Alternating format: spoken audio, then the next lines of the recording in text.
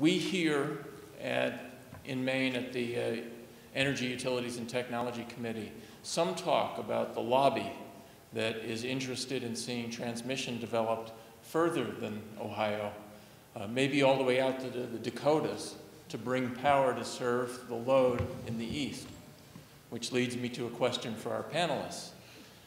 Um, is this gaining any traction? What does it mean for us here?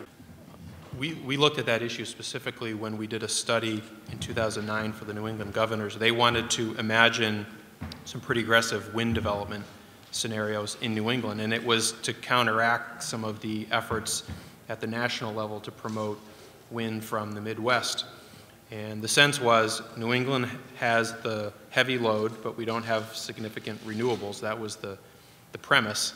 And therefore, we needed to support transmission to the Midwest because they had the renewable resources. What we found is that New England actually has more than enough uh, renewable capability here to meet our own goals. And when we started looking at the cost of transmission, uh, the cost of the renewables from the Midwest plus the transmission to bring it to the border was by far more expensive than any of the scenarios we looked at within New England for developing resources locally, in part because the offshore wind had such high capacity factors. They were very good resources. Yeah, the, um, uh, not only is it the cost factor, which I totally agree with you, Eric, um, but think about uh, getting the right-of-way permits from 10,000 landholders. And uh, I don't know, uh, a, a well-placed person within PJM uh, said, uh, who's younger than I am, uh, said that it'll never happen in his lifetime. And I, I think that that uh, is is true. Although uh, I think we should be very much aware that, uh, uh, I'll just mention him by name, I don't know how politic it is to do that, but uh, John Norris, commissioner from Iowa, is very much of a feeling that it's possible for his home state of Iowa to produce electricity, uh, wind generation, and move it uh, and to build that transmission uh, to the to the uh, east. And uh, PJM itself uh, has is going through scenario planning. PJM runs from you know New Jersey and Virginia, the East Coast, all the way out to Chicago, and they they have a scenario that has at least 30,000 megawatts of uh, onshore wind being generated. And there isn't a market in the Midwest for 30,000 megawatts of, of wind. So there's a high level of desire from their board to figure out how to get it to the east.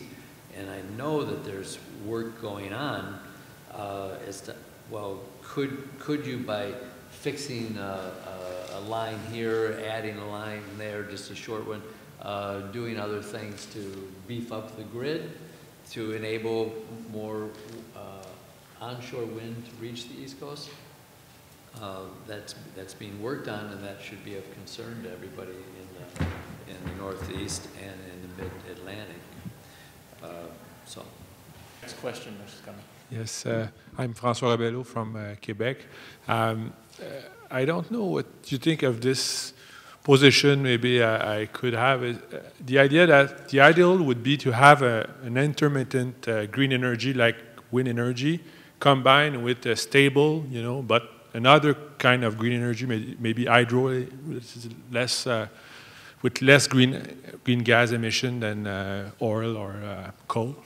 So uh, to combine both would be very efficient in terms of green gas, green gas, green gas emissions, sorry, and also in terms of efficiency. Uh, so uh, do you think uh, uh, if we look at it globally, we should work to, to uh, in this way? And uh, if we could think of a better partnership between the hydro of Quebec in the north and the, the wind energy on the east coast to make sure that we don't need, you know, any more coal or oil, you know, or green, you know, other, other energy. Well, it's primarily a question for you, Eric, but I, I want to just compliment you on uh, the, the, kind of vision that you articulated. Uh, the, uh, the, the hydro energy in Quebec uh, is absolutely uh, the finest uh, complement to the the variability issue that is raised by renewable energy. Yeah, um, I'd like to compliment him too on the vision, but I'm afraid he's not the first one that's thought of this. Uh, the International Energy Agency has a, an annex that is, has been looking at integration of wind and hydropower. Uh, their report, which was issued, I think, a year ago, uh, came out with very positive, complementary, uh, technical results saying that uh, when wind is down, hydro's up. When, hyd- when, the, when the water levels of hydro are down, the wind is up. There's, I'm just generalizing the findings. If anybody's interested, uh, the reports usually get posted on the IEA uh, website, um, and I can get you in touch with the uh, folks that did the study.